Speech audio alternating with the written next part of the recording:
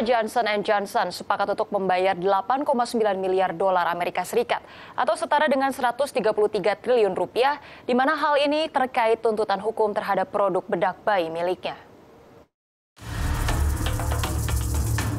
Keputusan Johnson Johnson untuk membayar 8,9 miliar dolar Amerika atas tuntutan hukum terhadap produk bedaknya lebih besar dari tawaran awal Johnson Johnson yang sebesar 2 miliar dolar Amerika Serikat atau 29,8 triliun rupiah. Sebagaimana diketahui, Johnson Johnson digugat puluhan ribu konsumen karena produk bedak bayi milik perusahaan disebut menyebabkan kanker. Adapun perjanjian mengikuti pengadilan banding pada bulan Januari yang membatalkan manuver kebangkrutan kontroversial Johnson Johnson. Perusahaan tersebut berusaha untuk melepaskan tanggung jawab dengan memindahkan bisnis bedaknya ke anak perusahaan yang kemudian mengajukan perlindungan kebangkrutan. Anak perusahaan Johnson Johnson yakni LTM Management mengajukan perlindungan kebangkrutan pada selasa pekan lalu untuk kedua kalinya.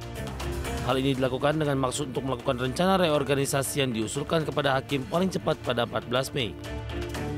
Sebelumnya Johnson Johnson menegaskan bahwa produknya aman dan tidak menyebabkan kanker. Pengacara perusahaan juga mengklaim bahwa gugatan kurang ilmiah, akan tetapi investigasi Reuters pada Desember 2018 mengungkap bahwa Johnson Johnson mengetahui tentang tes yang menunjukkan bedaknya terkadang mengandung asbes karsinogenik, namun merahasiakan informasi tersebut dari regulator dan publik. Berbagai sumber dari channel.